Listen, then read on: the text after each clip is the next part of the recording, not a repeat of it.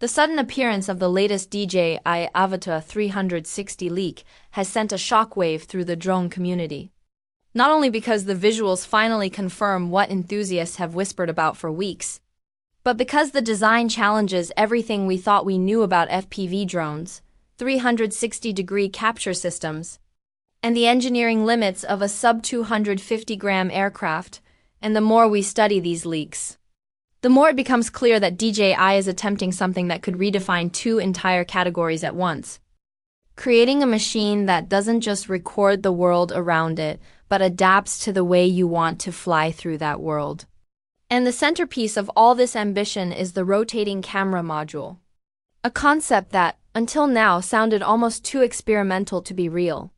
Yet the leaked hardware shows without question that DJI isn't just trying to stitch two fisheye lenses together in software like Insta360 or GoPro. Instead, they designed an actual physical rotation mechanism, a motorized housing that flips seamlessly between a full spherical 360 degree capture mode and a dedicated forward facing FPV mode. And that decision alone introduces a thousand implications for aerodynamics, structural integrity, and weight distribution. Because embedding a rotating module inside a ducted FPV aircraft requires rethinking the entire front body. Which is why the new Avata 360 leak reveals a thicker, curved, almost armor-like front shell that gives the rotating camera both protection and stability without compromising airflow. This immediately suggests that DJI wasn't content to simply slap new sensors onto the existing Avata 2 frame. They rebuilt the platform from the ground up, compressing and reshaping the chassis so that the camera sits like a mechanical heart at the drone's core. Free to rotate yet shielded from the intense vibrations generated by FPV maneuvers. But the engineering challenge doesn't stop there.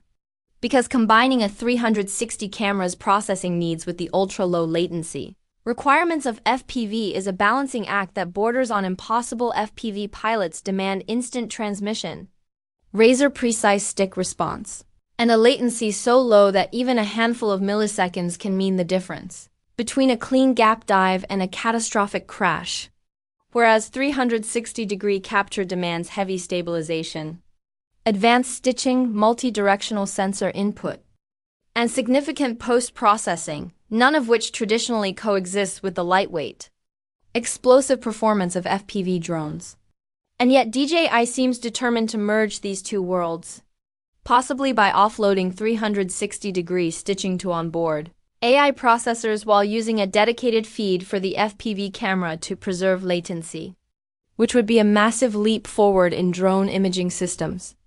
Something that could allow creators to fly through environments in FPV mode and then extract fully reframed 360 shots in post, giving them essentially two separate cinematic tools in one aircraft. But what truly pushes this leak into unbelievable territory is not the dual mode camera, nor the revised frame, nor the rumored FPV performance. The idea that this drone could somehow land under the magical threshold of 250 grams, a number that unlocks regulatory advantages in almost every major drone market in the world. Because under 250 grams means easier travel, less paperwork, more freedom for aerial creators, and far fewer restrictions on where and when you can fly. And when you combine that with FPV, the possibilities explode in a way that DJI is no doubt aware of. Since the Avata line has always targeted a mix of travel vloggers, beginners entering FPV for the first time, and experienced pilots wanting DJI's rock solid video transmission rather than analog signals. However, every Avata so far has been bulky, powerful and built for durability rather than weight. With thick ducts, heavy frames, and large batteries designed for indoor safety and outdoor punching power. So the rumor of a 250 gram Avata seems almost ridiculous. Especially when you consider the additional hardware DJI appears to have added front and side visual cameras, omnidirectional sensing systems, dual LiDAR sensors, all of which suggest a push into improved obstacle detection and indoor autonomy. Normally, adding these systems would raise the weight dramatically. And yet the leaked photos show a drone that looks almost compressed, flattened, shaved down to the bare essentials. with a slimmer top shell, fewer reinforcement ribs, reduced plastic in the ducts, more streamlined arms, and a visibly smaller battery pack that almost certainly carries fewer cells, lower milliamp hours, and a lighter casing. This means that DJI likely redesigned the internal layout to minimize empty space, tucking electronics tighter together. Perhaps revising the ESC board, slimming the gimbal housing, and even reducing motor mass with more efficient stators that deliver similar thrust at a lower weight. If DJI truly wants this drone to sit under 250 grams, the battery will be the biggest sacrifice, and the flight time will almost certainly fall below the Avata 2's numbers. But that might be acceptable if the dual mode camera delivers something unprecedented for creators. Imagine flying through a forest trail in FPV mode, then switching to 360 capture mid flight to record everything around you. Then transitioning back to FPV for tight gaps without needing two drones or a separate camera rig. Content creators who rely on Reels, Shorts, TikTok, and travel vlogs could create dynamic sequences that are impossible with conventional drones. And FPV pilots could use the 360 mode to recover footage even from near misses or imperfect flight lines because the spherical capture would allow them to reframe shots after the fact, turning mistakes into cinematic assets. But beyond creators, the engineering story here is equally fascinating. Because the new shell redesign signals a shift in DJI's philosophy, a move away from the older, more toy-like ducted frames into a sleeker, more aerodynamic profile that balances speed, stability, and imaging. The thinner ducts likely reduce drag, while the narrower motor mounts and lighter chassis suggest higher efficiency, which might allow DJI to maintain similar flight performance even with a smaller battery. And the rotating camera mechanism, if executed well, could become one of DJI's most iconic innovations. Because physical rotation avoids many of the stitching artifacts and blind spot issues that plague dual lens 360 cameras. And it allows DJI to use a single larger sensor for FPV mode, eliminating the fisheye distortion problem that normally plagues small FPV focused drones. The biggest question, however, Remains execution can DJ. I really deliver a drone that performs as both a proper FPV machine and a high quality 360 degree camera system. In theory, yes, but in practice, the complexity is enormous.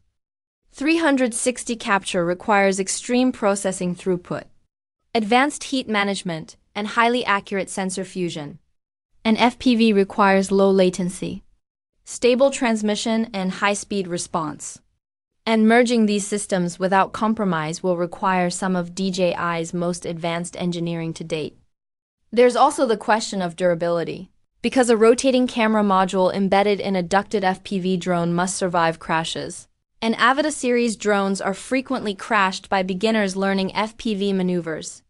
The rotation mechanism must be shock resistant, dust resistant, and protected from impacts.